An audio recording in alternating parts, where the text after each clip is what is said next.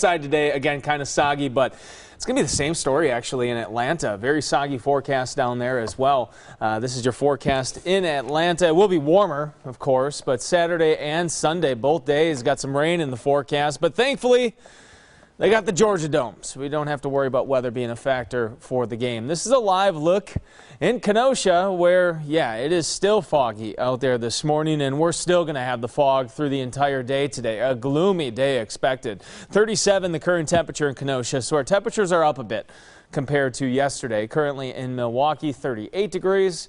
The winds are out of the east at 11 miles per hour.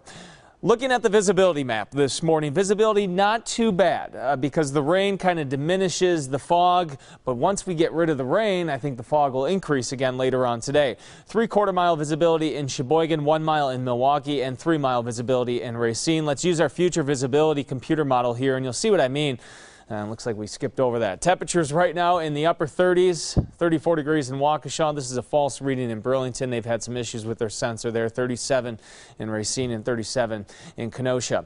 Let's go through the weather headlines. A soggy morning commute expected. Foggy right on into the weekend. Now temperatures are also going to be way above normal. Here's a look at the Storm 4 Max radar. Across southeastern Wisconsin, rain moving from the southeast to the northwest. We're going to be dealing with this for the next couple of hours. So again, closing in a little bit. You can see Washington, Ozaukee, Waukesha, Racine, Milwaukee County all seeing a light to moderate rain. Let's go through the future forecast here by 8 o'clock. Still seeing light rain across much of the area at 8 o'clock especially from Milwaukee into the north. I think we're still dealing with some light rain around 11 o'clock, and then by 2 o'clock the rain comes to an end, but that's when I think the fog could thicken up again as we head into the afternoon. And then look what comes again on Saturday.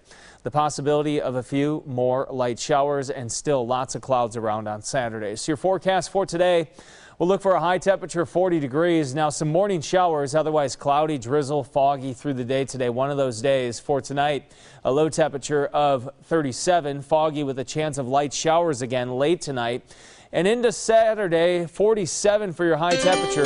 Light showers possible both Saturday and Sunday. 47 for your high temperature on Saturday, 45 degrees on Sunday. Monday, we'll look for 44 degrees, mostly cloudy. And then comes another system, but it looks like we still might be on the warmer side of things. Uh, looks like Tuesday night and into Wednesday morning where we could have a wintry mix. 41 on Tuesday, 37 on Wednesday, 30 and a chance of light snow on Thursday. But for the next couple of days, temperatures ranging 15 to 20 degrees above normal.